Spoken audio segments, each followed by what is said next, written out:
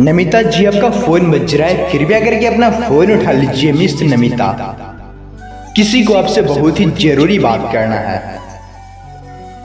Hello miss Namita. Please pick up the call.